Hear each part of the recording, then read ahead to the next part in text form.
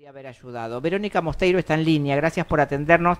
Eh, nuestra solidaridad en principio, Verónica. Gracias, buen día.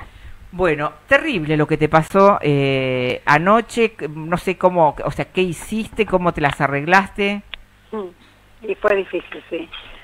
Eh, nada, la mano de Dios me hizo acostar temprano porque no me sentía bien, eh, porque el camión ingresó por lo que es el living, el lugar donde yo estoy normalmente cenando a la noche y mirando tele.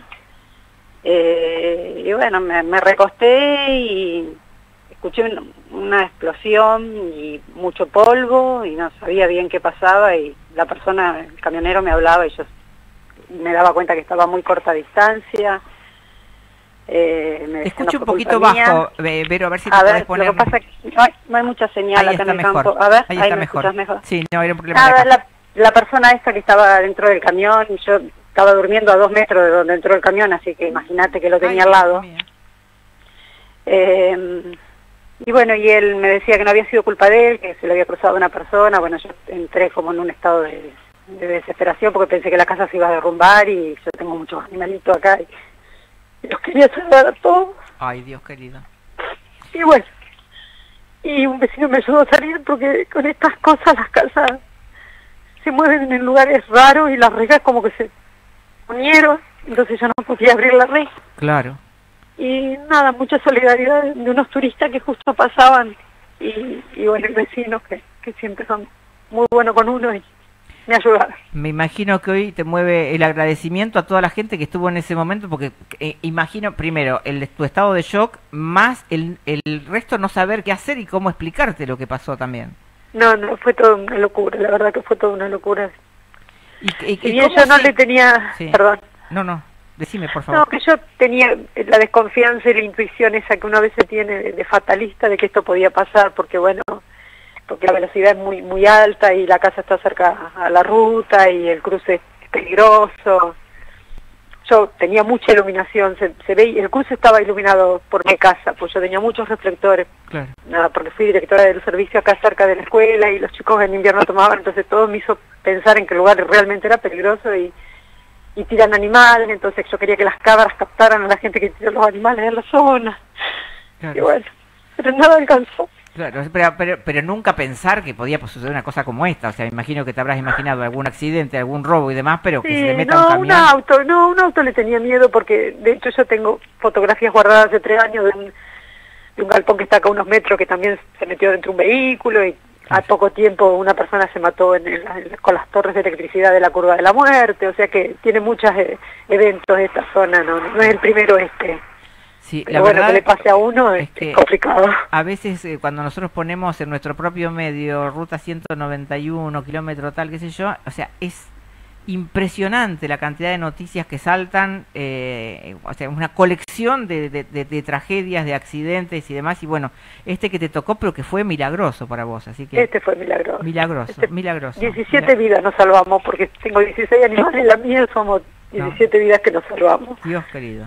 Eh, pero, ¿qué, eh, en, qué podemos, no sé, o, sea, ¿cómo, cómo, te la estás arreglando? Bueno, obviamente sabemos que, que tenés eh, gente que te, donde quedarte y todo, pero digamos, ¿cómo, qué, qué, podemos hacer?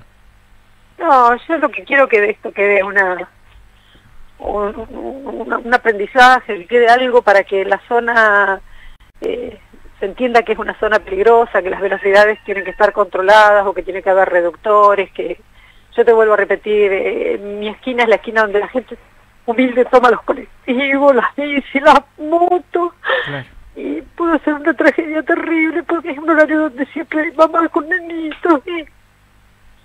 No, no puede volver a pasar algo así. No, no, eh, eh, lo que decís aparte porque se transformó, o sea, cuando esta ruta se hizo era una era una ciudad y hoy es otra. Esta es otra historia, esta es otra historia. Esto está lleno de, complejos de cabañas hacia todos los lugares, llenos de viveros, los turistas que, que paran siempre en casa a preguntar por una cosa, por otra.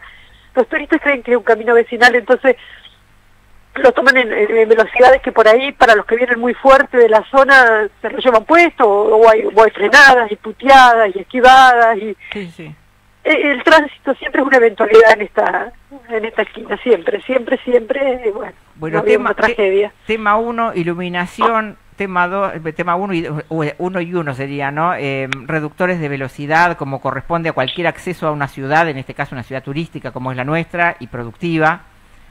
Eh, y, y, para vos, eh, eh contame, no sé, ¿tenés manera de, Bueno, que esta esquinita de, donde fue el accidente era, era un museo, estaba, toda mi historia casi, bueno, hay que hacer el duelo de eso. Pero Cuando decís toda tu historia, que porque tenés todas... De mis padres y de, mi mamá, que éramos medio coleccionistas de antigüedades. Claro. Estaba todo acá, en mi lugar. Pero bueno, eh, no deja de ser material y, y llegar a la resignación. El tema es que estoy bien, y que, que mis animalitos están bien y que no hubo accidentados. Bueno, el chofer está sano y el otro señor también. Bueno. ¿Te podemos ayudar en, en, algo, algo que quieras recuperar? No sé, la verdad es que em, es desolador lo que te pasó. No, ahora, bueno, vinieron los dos arquitectos de, de la municipalidad y estuvieron mirando y me dieron algunos consejos desde lo estructural, porque al retirar el camión seguramente se va a desmoronar. Claro. Entonces estamos con, mi familia y con mis amigos tratando de recuperar algo de lo que estaba adentro. Y... Eso, estás con tus amigos y tu familia, te están acompañando. Sí, sí, sí. Ayer estaba sola, pero ahora ya estoy acompañada, gracias a Dios. Bueno, la verdad, no sé, te digo sinceramente, no sé qué decirte, es un desconsuelo enorme, porque a medida que vas relatando uno se imagina, se pone en el lugar y decís, bueno, que claro, tenés todas tus cosas ahí, tus recuerdos, eh, y, no, y, es el lugar que elegiste para vivir, entonces bueno, eso no tiene no, no tiene comparación ni comparación. voy a tratar de buscar las fotos de mis hijos, que justo hacía poquito me había terminado de mudar todas las cosas de la casa que era materna y, y a tratar de encontrar los recuerdos que, son demasiado afectivos para uno y no los quisiera perder. está complicado porque bueno, Sí, eh, seguramente ocho, ocho metros de camisa dentro de, casa. No, no, y que no se vaya a caer alguna mampostería o algo que te pueda dañar. Sí, sí, sí. Así que bueno, seguramente tendrás quien te asesore también en eso. Sí, no, ahí, miraron los arquitectos y me dijeron que el, camión está sosteniendo el techo, así que no se va a caer el techo. Eh, y bueno, y hay que tratar de recuperar algo y, y después se verá. Terrible. Bueno, Verónica, te mando un abrazo, te mandamos un abrazo. Gracias, igualmente para ustedes. muchísimo lo que te sucedió. Gracias por llamar, gracias. Bueno, Verónica Mosteiro agradeciendo a todas las personas que la ayudaron, contándonos, la verdad que...